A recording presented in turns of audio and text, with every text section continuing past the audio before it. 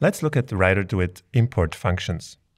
If you're just starting out and WriterDuet is the first writing program that you use, you probably won't have a lot to import, but when you're coming from another writing solution and you already have a ton of stuff in different formats, it's going to be very important to you getting at least some of that into WriterDuet without hassle. Importing is very easy. There is really nothing to it. Let's go through the steps real quick and look at what file formats WriterDuet can deal with. In order to get stuff into WriterDuet, go to File Import. And then you see this box that opens up, and there you can choose first what kind of template inside of WriterDuet you want to use to import the content into. Then, below that, you can check whether you want to import file settings also.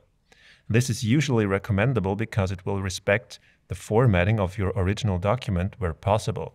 But if something looks off, you can also try importing with this deactivated and see what it looks like. On the right side, you have a selection of buttons to choose the source that you're importing from.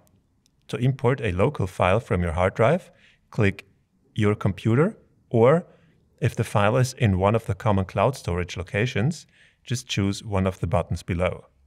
The program asks you if you want to replace the existing document, create a new one, or even create a new project with the imported content. You select whatever makes sense in your situation, and Writer Duet imports the file. And that's basically it. That's importing in Writer Duet.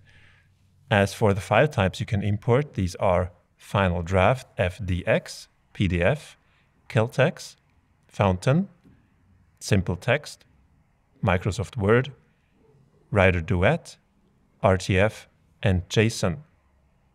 Depending on from what file type you import, the result may differ a little bit once you have it inside Rider WriterDuet because every file type stores data a little differently and Rider WriterDuet is doing the best it can to represent it as close as possible to the original, but you might have to do some editing here and there with some of the file formats. For importing and exporting, the official recommendation from Rider WriterDuet themselves is to use WriterDuet's own file format or the FDX final draft format. These should maintain your formatting the best.